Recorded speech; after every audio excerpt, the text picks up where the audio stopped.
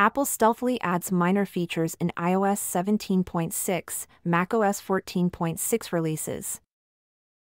Apple introduces minor updates for iOS 17.6, macOS 14.6, and other systems, including bug fixes and optimizations. macOS 14.6 now supports multi-display in clamshell mode for the M3 MacBook Pro, allowing two external monitors. This feature was already available on the M3 Pro, M3 Max, and M3 MacBook Air with a previous update iOS 17.6 and iPadOS 17.6 introduce Catch Up for sports fans using Apple's TV app.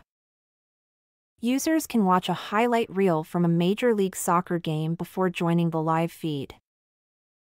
These updates are likely the last before Apple rolls out its major annual releases, like iOS 18 and macOS Sequoia 15 iOS 17.6, iPadOS 17.6, tvOS 17.6, watchOS 10.6, and macOS Sonoma 14.6 are now available for download on supported devices.